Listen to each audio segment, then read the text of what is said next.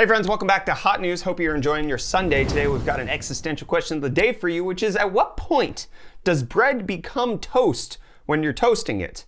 What's the, it's a gradient. Where's the line where bread is no longer bread and it's toast? And furthermore, if a baker overbakes a loaf of bread, did he make a loaf of toast? I don't know. I, I can't keep going on in my life unless I know where the line for toast is. But thankfully, because of these informations coming out about AMD, I know where the line is for their next generation of APUs because the Ryzen 4000 Renoir desktop APU has been spotted in some benchmarks and we have some details about it that are quite delicious. Some would say toasty. So the reason that the Renoir desktop APUs are such a big deal is because they combine the power of the Zen 2 CPU with the new Vega graphics that AMD announced at CES this past year. So you have the plus 15% IPC improvement, which means that for every clock the CPU does, it's 15% faster than its predecessor. You combine that on the CPU side with the 15% better performance AMD said we were get out of the Vega GPUs, and what you have is a smattering of extra performance on little chips that would be good. And we all know 15 plus 15 is 30, but that doesn't mean this thing's 30% faster. I'm just doing math. I'm just adding up numbers. Anyways, the benchmark shows,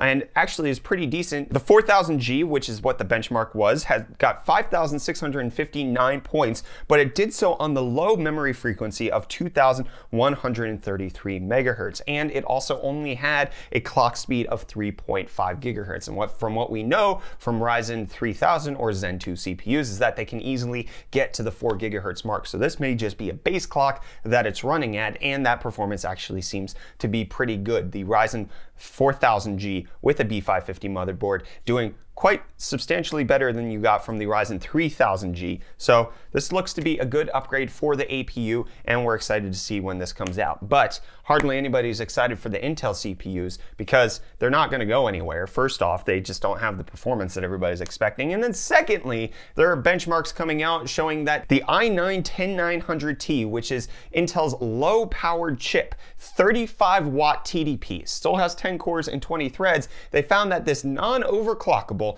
35 watt TDP chip is running at 123 watts. That is over three times what the TDP actually is. This thing is pulling a ton of juice through the socket. This is one of the reasons why people expected that Intel's CPUs would be delayed when they were supposed to be announced early in the year because the high-end chips, which have 125 watt TDP, those things are pulling over 300 watts at the socket. So it's a big deal. They're consuming a lot of power. Intel can't make them all nice and power efficient anymore because their technology has stagnated. And when are we gonna start seeing the memes about Intel being the hot and loud one? We need that, come on, tech community. Get us some memes. Tweet at me, at UF Disciple. I need to see your Intel hot and loud memes.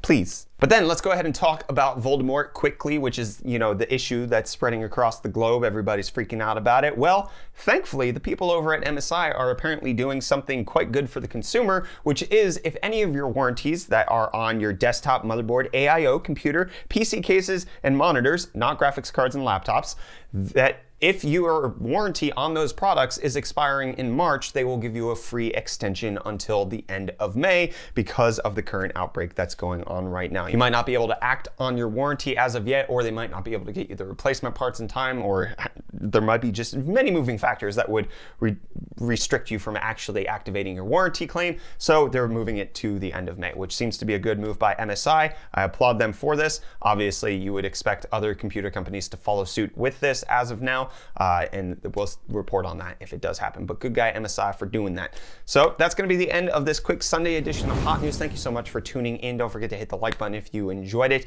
Don't forget to answer the existential question of the day, which is at what point does bread become toast when you toast it? Need to know. Otherwise, I can't eat it anymore. That's the end of this episode. Bye.